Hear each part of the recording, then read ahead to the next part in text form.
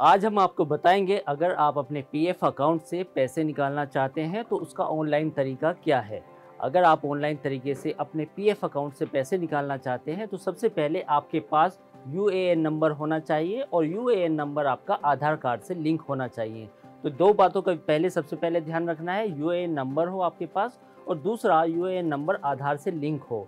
फिर इसके बाद आप ईपीएफओ की वेबसाइट पर जाएँगे, वहाँ पर आप लॉगिन करेंगे, अपना पासवर्ड डालेंगे पासवर्ड डालने के बाद आप फॉर्म 31 फॉर्म 31 सेलेक्ट करेंगे। फॉर्म 31 सेलेक्ट करने के बाद आप अपनी उसमें बैंक डिटेल्स डालेंगे और एक कैंसिल चेक की स्कैनिंग कॉपी भी डालेंगे।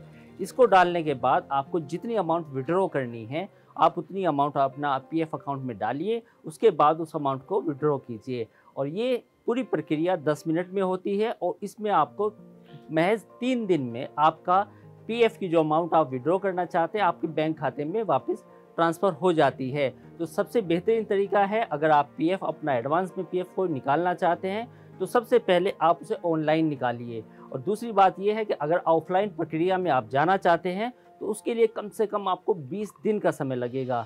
तो सबसे बेहतरीन बात यह है कि अगर आप अपना पीएफ ऑनलाइन निकालना चाहते हैं तो यूएएन और आधार नंबर से महज 10 मिनट में अपना पीएफ निकालिए। वीडियो पसंद आया तो हमें लाइक कमेंट शेयर और सब्सक्राइब ज़रूर करें।